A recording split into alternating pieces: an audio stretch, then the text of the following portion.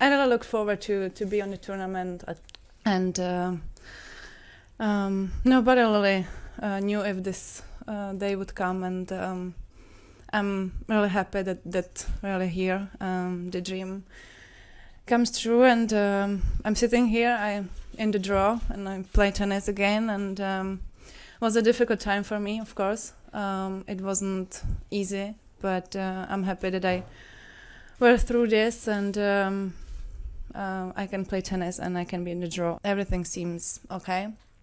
Uh, of course, the hand doesn't have that that power and the strength yet, but I'm working on it. Hopefully, one day will be everything perfect, but we never know. Still, um, I'm happy that when I'm playing, I don't have a pain in my hand. I didn't test it in the match, of course. Um, maybe it will be different when the nerves comes and I'm gonna be tired and everything. I stayed in life and I have all my fingers. I can play tennis and I can be here and be in the draw. And I'm looking forward for the for my for my match, which uh, when I watch some of the, I can't say matches, but I saw something in the TV.